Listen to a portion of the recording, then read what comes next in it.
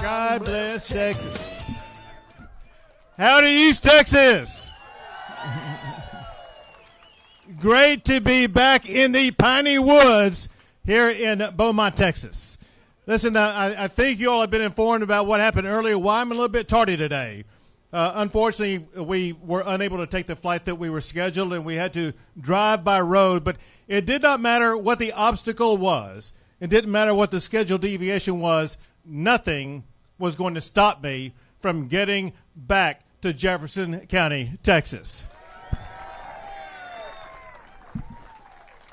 So I, I want to thank uh, the sheriff for being with us. And so I got like a, a, a, blazing sun in my eye, and there's hardly anybody I can see. And I, where where is the sheriff right now?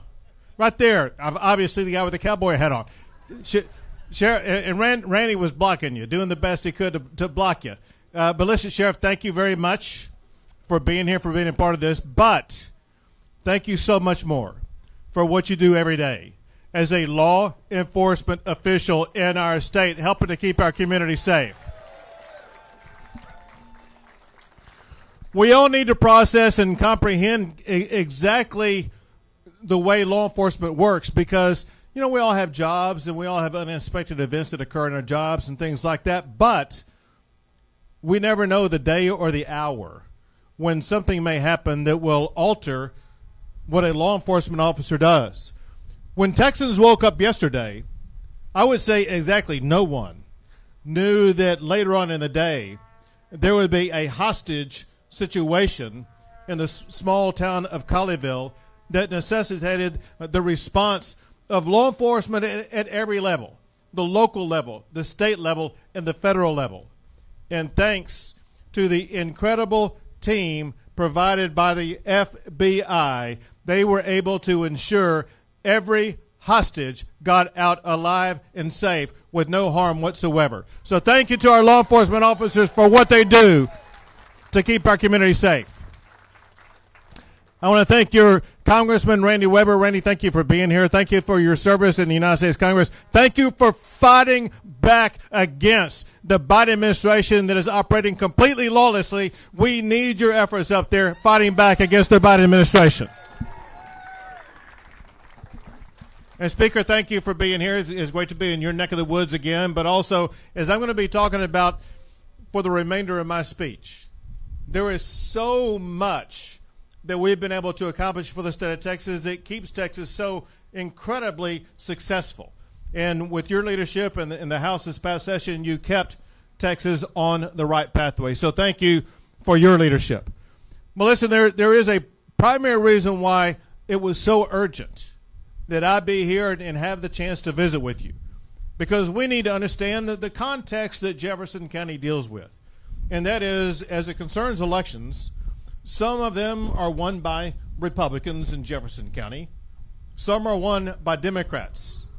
But we need to be abundantly clear what's going to happen in 2022. From the top of the ballot to the bottom of the ballot in Jefferson County and in the state of Texas, it will be Republicans who are going to be winning in 2022. And let me explain to you why I'm so confident that it's going to turn out that way. We're going to do what really needs to be done, and that is to contrast the difference between Republicans versus our Democrats. And candidly, the, the difference between the two has never been so stark.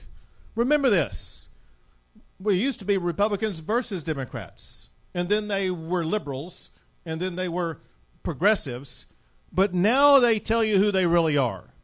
They, you're exactly right, they are socialists trying to impose their radical socialist agenda on our country, and by God, we Texans, we're not going to allow these big government socialists to impose their radical agenda on the state of Texas.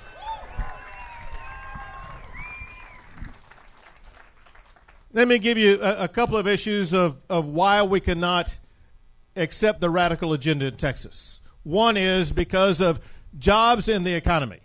As maybe Speaker Phelan was talking about, when you look at what has occurred under Republican leadership in Texas, we've been able to formulate an economic juggernaut working with in partnership uh, with the local business leaders. Let me just give you a few examples.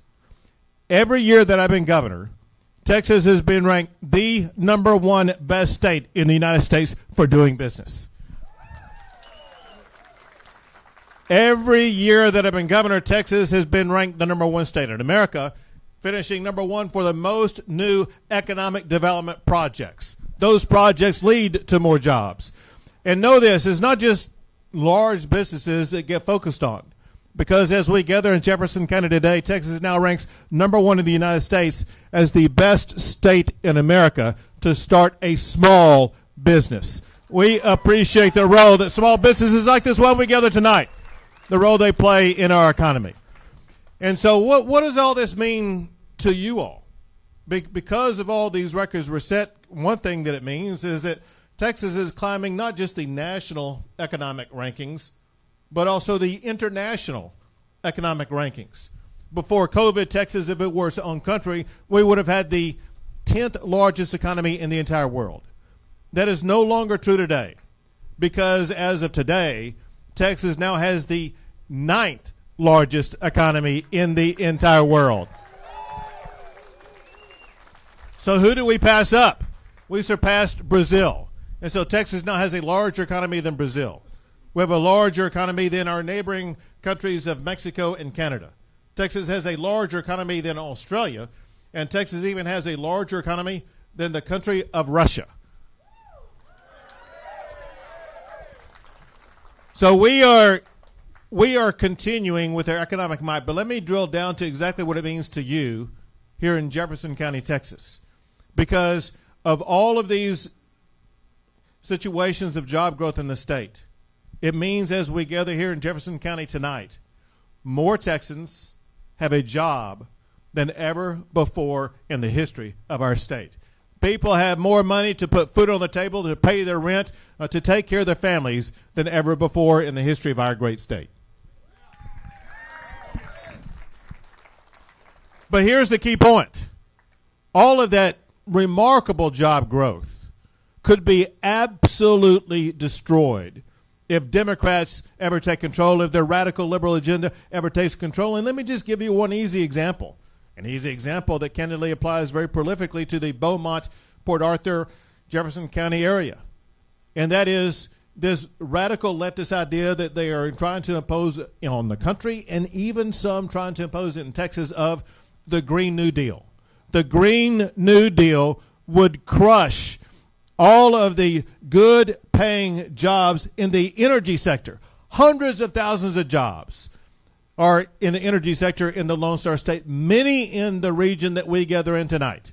And we are not going to allow these uh, radical leftists to destroy those energy jobs. Instead, one of the reasons why I am running for reelection is to ensure that we protect the high paying energy jobs in the great state of Texas.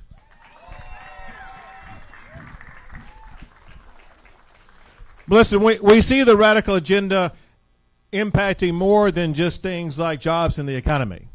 We also see it in the education arena we see this leftist agenda surface where they're trying to impose their agenda in our schools. And one of the ways that we've seen it across the country and even in some schools here in Texas is through the use of critical race theory. Now, critical race theory is a way, it's a tool really, by the leftists to try to rewrite our history and at the same time redesign our future. And among other things, what they do is they, they pit people on the basis of the color of the skin on their race. And then they have the people of different races fight against each other. That is contrary to the fundamental principles of the United States of America and candidly contrary of the person we honor tomorrow and Martin Luther King Jr. Because it was Martin Luther King Jr. who reminded us all in America, frankly, in the world, no one is to be judged by the color of their skin, but instead by the content of their character. That is what we stand for in Texas and in America. So, to respond to this, and this is one of the things that the Speaker worked on, to respond to this, uh, we passed a law in the regular session, and then we passed another law, and I just lost the microphone coming back on. We we passed another law in the special session where altogether we banned uh, the teaching or use of critical race theory in every subject, in every grade, in every public school in the entire state of Texas.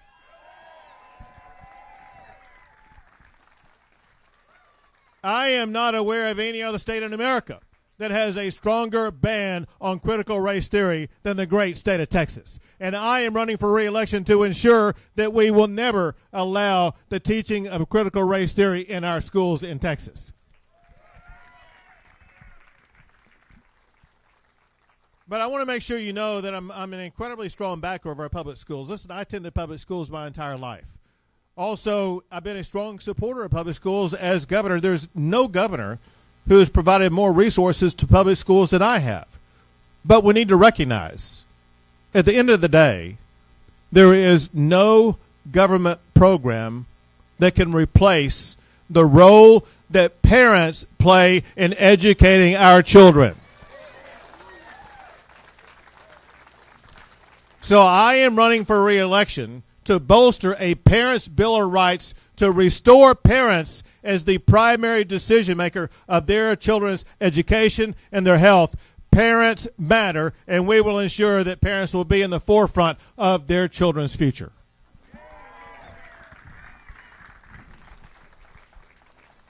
Returning to law enforcement for a second, another way in which we see this radical leftist agenda hijack our country and endanger our communities is through this idiotic policy of defunding police.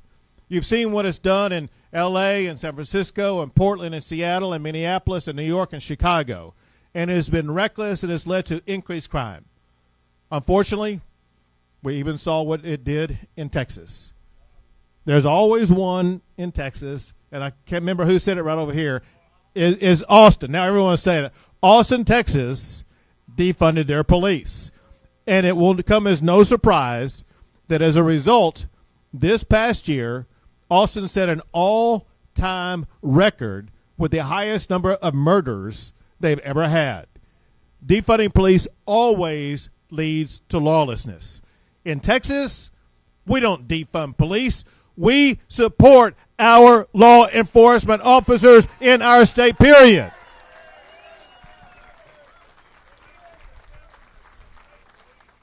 So, with, with the help of the Speaker and, and the members of the House and Senate, we pass a law that will defund any city that defunds our law enforcement. And now the city of Austin has had to refund their law enforcement by more than $140 million.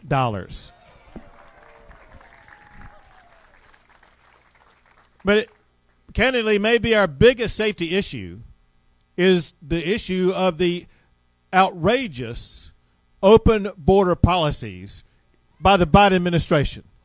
Listen, listen the, the, the border had been solved under President Trump.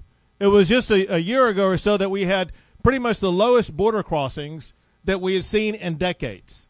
And President Trump, by the way, who has endorsed my campaign, President Trump had President Trump had four simple policies that worked very effectively. One is the Remain in Mexico policy for people to remain in Mexico uh, while awaiting whether or not they are able to come into the United States for asylum purposes. Two is Title 42 that would require people to, or let's say prevent people from being able to cross the border because of health care reasons. Uh, number three is to end the crazy catch and release program that Biden has now reinstated. Uh, and uh, number four is President Trump. Yes, he did step up and begin to build the border wall, making Texas more secure, making America more secure.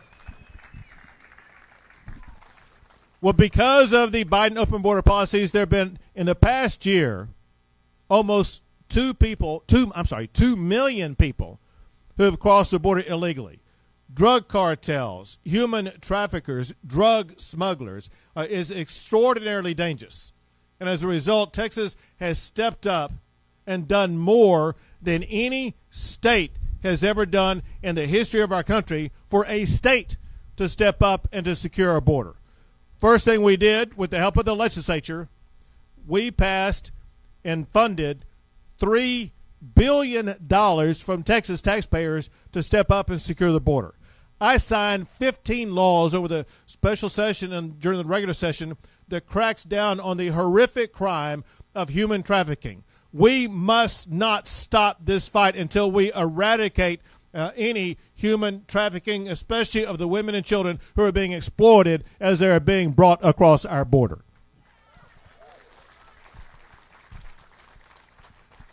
And I've deployed 10,000 National Guard as well as more than 1,000 Texas Department of Public Safety officers to secure our border, to crack down on this smuggling of the, one of the most deadly drugs, fentanyl, uh, that is coming across our border. And just law enforcement in Texas alone has seized enough fentanyl to kill every man, woman, and child in Texas, California, New York, Florida, and Illinois combined. It's deadly and it's dangerous and we must stop it.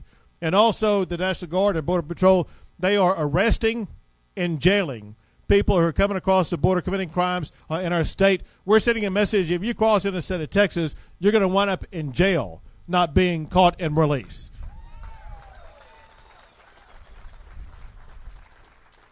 And now, Texas is building its own border wall, making sure that we secure our state and secure the sovereignty of America. Listen, there, there's a lot of these issues and challenges that are on the ballot here in 2022. But we need to understand as important as safety is, freedom itself is on the ballot in 2022. You know, when you think about your freedoms, you think about what, what is in our Constitution's Bill of Rights.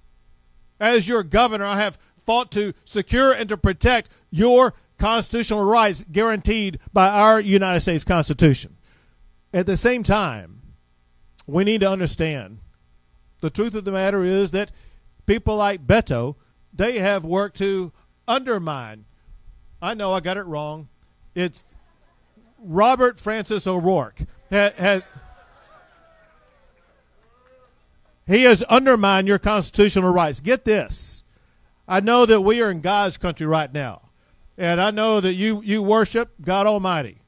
And what Beto has threatened is to take away the tax exempt status of any church that refuses to bow down to the woke radical agenda that not only violates the Constitution, it is offensive to every man and woman and child in the Lone Star State. And as your governor, I will not allow it, period.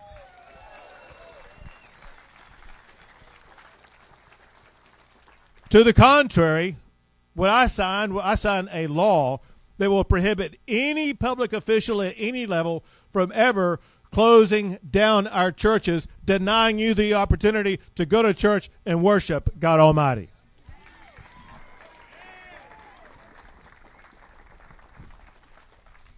And what comes after the First Amendment? The Second Amendment. And need I tell you what Beto has told you what he would do to your Second Amendment rights? Yeah, and are we going to let him come and take your guns? No way. No way. So while he threatens to come and take your guns, I have signed more than 20 laws to protect your Second Amendment rights, including making Texas a constitutional carry state. And including making Texas a Second Amendment sanctuary state, preventing Joe Biden coming in from and taking your guns.